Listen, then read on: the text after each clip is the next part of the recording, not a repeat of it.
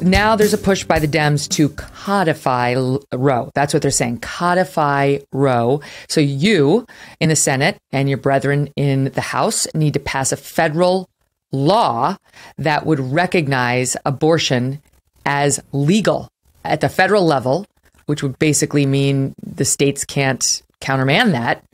Is that going to happen? No, it's not going to happen. And uh, Megyn, I'm not sure that there's a constitutional basis for it happening anyway. I mean, the Supreme Court actually has been clear on this that con- the Congress does not get to determine the bounds of the Constitution. The Supreme Court is the final say in the judiciary on, on what the Constitution means. Now, obviously, the people can change the Constitution, absolutely, certainly, but Congress can't change the Constitution. So I don't know that there's any basis for Congress to come in and say, oh, we'll tell you We'll tell you what the states can and cannot do. We'll tell you what voters can and cannot say with regard to abortion. I, I just don't think that Congress has that kind of power. All right, but let me ask. Let me jump in and ask you this. So what? So what's to stop Congress from saying abortion affects interstate commerce? So you know, women now, if we if it, if it's illegal in 13 states plus, because it'll be more than 13 eventually, um, they're going to have to travel across state lines and so on to get abortions if they want them. And so uh, it's in our power to regulate this issue. And we would like to regulate it by saying it's legal. It's uh, that there is a national right to an abortion.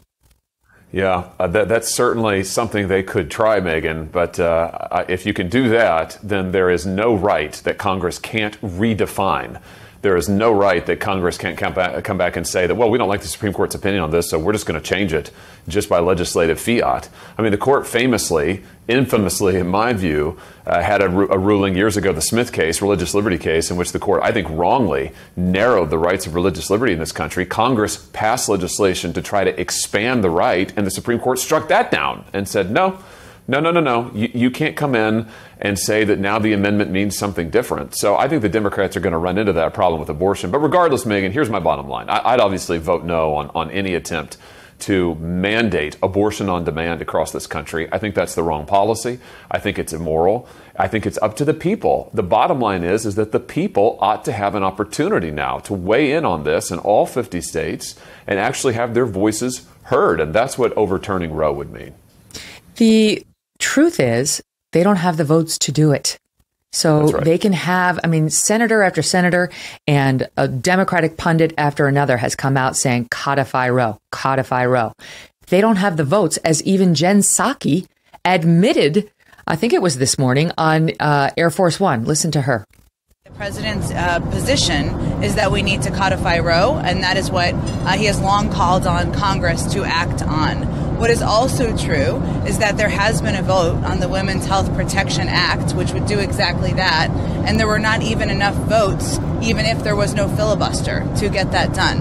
Uh, so I would note in his written statement that we released this morning, I'm just going to reiterate what he said in this statement. He said, if the court does overturn Roe, it will fall on our nation's elected officials at all levels of government to protect a woman's right to choose. So much for Chuck Schumer, who's out there, you know, the Democratic uh, majority leader in the Senate saying, we, it's our intention for the Senate to hold a vote on legislation to codify the right to an abortion in law. Yeah, I mean, we've done this. He's done this before. We've taken votes on it before, Megyn. Uh, it has failed. It, it's going to fail. And uh, his own party has been clear that they're not willing on the Senate side to blow up the filibuster in order to take this down to a 50 vote threshold. And that's as it should be. I mean, the rules of the Senate say you need at least 60 votes here to break a filibuster. They don't have those votes. And this is it is wrong to try and bully the Supreme Court. Let's be clear about what's going on here, Megyn. This is an attempt by the Democrats to bully the Supreme Court into changing their opinion. They know the vote will fail in the Senate. The idea is to try and create public pressure on the court now to switch midstream and change the opinion. That's wrong. That is an attempt to interfere in the judicial process, and I hope the justices will resist it. I think they will.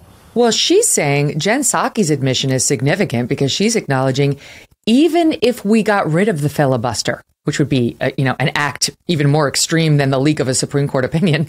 Uh, it would change America fundamentally.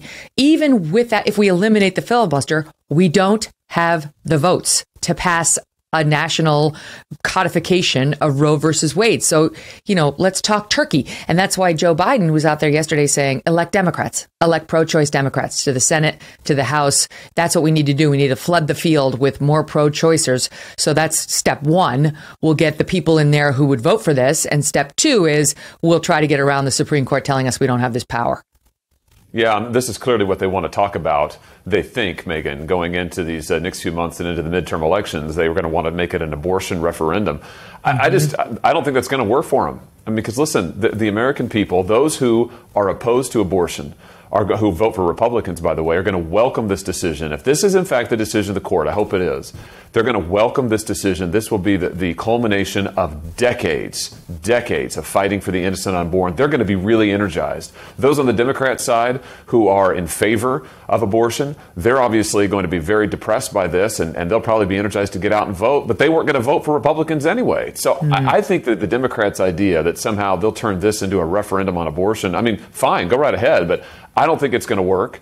I think that the American people see this for what it is. What the Democrats are really saying is, let us tell you what to think on this issue. If you disagree and want to have a say in this issue, you're wrong. You should shut up and you should allow nine justices to make up your their minds, your mind for you. And I just don't think that's what most Americans want.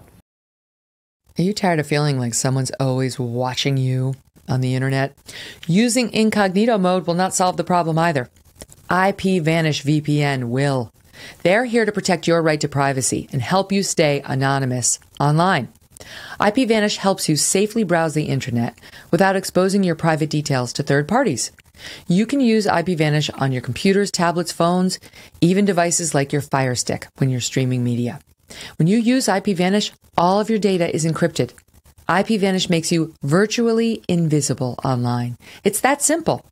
IPVanish right now is offering an incredible 70% off their yearly plan.